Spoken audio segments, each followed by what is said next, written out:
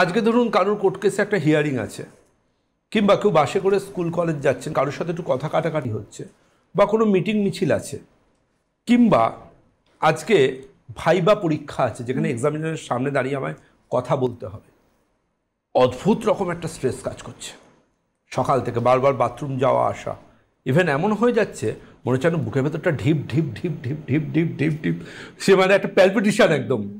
এরকম কিছু আবার হয়ে গেল আবার নর্মাল কিছুক্ষণ বাদে।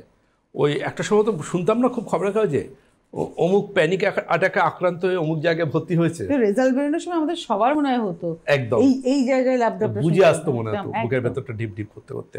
দেখুন থরিসি সি বাত মে টেনশন শুরু থোড়ি সি বাত মে টেনশন খতম। এটা কিন্তু খুব কমন একটা ম্যাটার এটা নিয়ে চিন্তার কারণ নেই।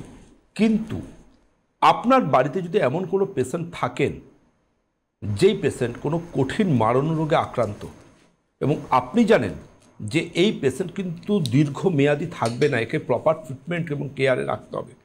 কিন্তু ডেডিকেটেডলি যে কেয়ার গিভার তাকে সকাল থেকে রাত্রির আগলাচ্ছে, যত্ন করছে, তার মেন্টাল হেলথটা তার সেই যে তার যত্ন করছে, আগলাচ্ছে, সেই কেয়ার গিভারের মেন্টাল হেলথের কথাটা কিন্তু মনে রাখতে হবে। তার এই স্ট্রেস তার অ্যাংজাইটি তার টেনশন তার ফ্যামিলির অন্যান্য মানুষের তার প্রতি সেই ভালোবাসা, সে অনুভূতি না দেখালে কিন্তু তারও মেন্টাল ক্ষতি হবে।